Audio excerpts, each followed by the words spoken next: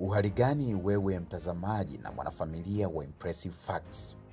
Ulimwengu wetu ni picha ya nchi 195 ambazo kwa hakika hufanya ulimwengu wetu kuwa chungu cha idadi ya tamaduni, desturi, sheria, imani za kidini na mila mbalimbali.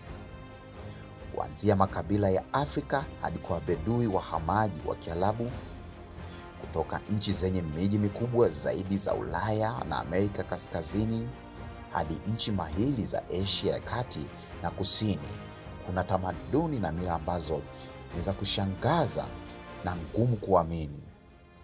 Basi leo tutazichimbua na kujua tamaduni tano tu toka mataifa tofauti tofauti za kushangaza na kustajabisha.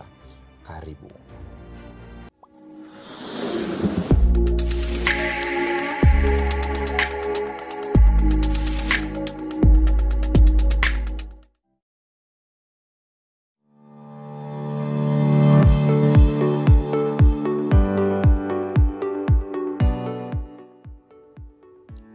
Tunapozungumzia juu ya mambo ya ajabu, hakuna kitu kinachoweza kushangaza zaidi kuliko desturi hii ambayo inaadhimishwa na watu wa kabila la Toraja wa eneo la Sulawesi huko Indonesia.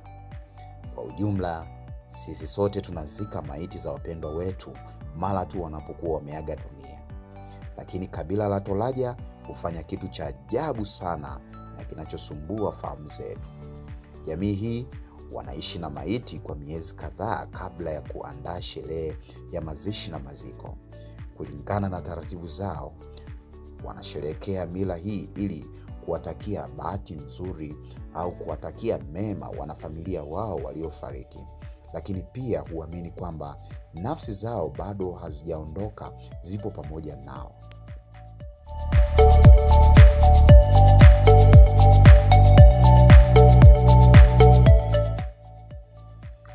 Huko nchini Ethiopia, wanawake wa kabila la Mosi hufanyiwa utamaduni wa ajabu sana.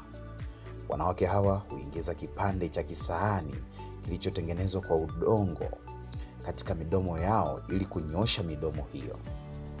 Msichana wa kabila la Mosi anapofikisha umri wa miaka 15 au 16, mdomo wake wa chini hukatwa, na baada ya miezi mitatu au minne kidonda kupona.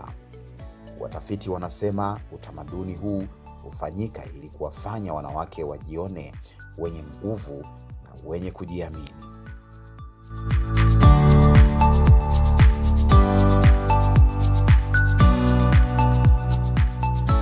Huko Lebul nchini Thailand, watu husherekea desturi ya ajabu sana ambayo nyani wa huko hulishwa matunda, mboga mboga na chakula.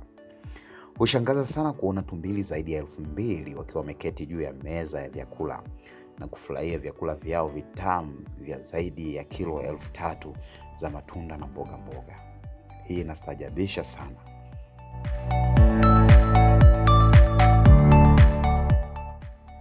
Utamaduni huu umekuwa ni jambo la kawaida kwa watu waishio katika kijiji cha Solapur, Maharashtra, huko nchini India.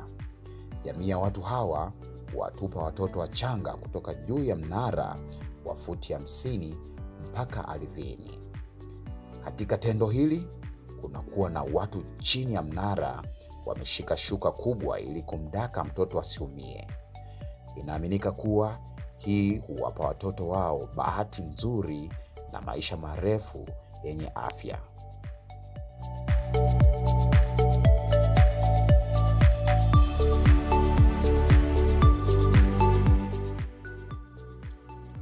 Huko nchini China kuna jamii ambazo zina utamaduni wa ajabu sana.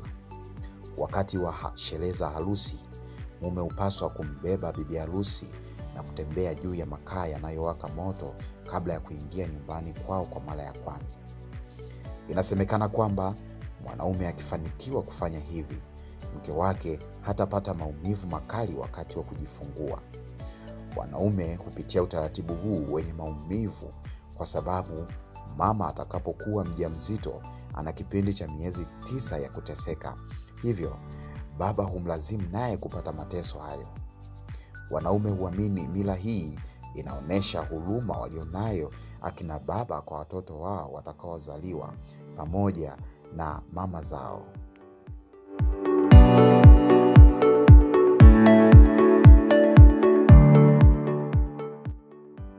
Yapo mengi ya kujifunza, yapo mengi ya kushangaza.